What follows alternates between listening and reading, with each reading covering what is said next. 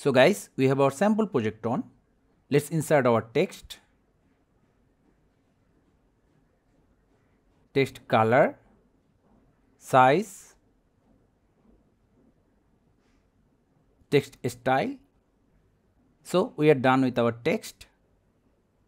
Now for 3D effect, select the text layer, effects, add effect, 3D.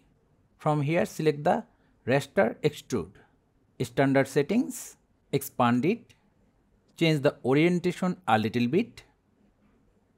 As you can see that the depth of our 3D text is too high.